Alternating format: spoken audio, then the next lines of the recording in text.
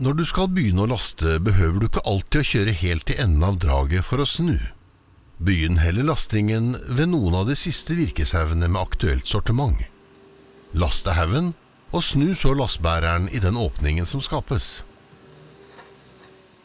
Iblant kan det være et alternativ å rygge inn på veien. En grunnregel er å kjøre fram sortiment med bedre kvalitet før det dårligere. Det er normalt det mest rasjonelle. Når du skal kjøre sagtømmeret, kan du lett sortere ut stokker som hogstmaskinen har lagt feil, og legge dem direkte i haugene med massevirke. På den måten risikerer du ikke unødig arbeid, og reduserer risiko for at virket skal bli feilsortert på velteplassen. Hvilken vei stokkene ligger er av stor betydning for hvor god sikt du får over lasset. Systemet på lasset påvirkes også av dette.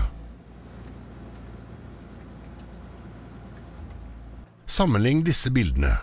Dersom du gjør som i det venstre bildet, begynner å legge virke med rotendene bakover, blir arbeidet enklere og mer effektivt.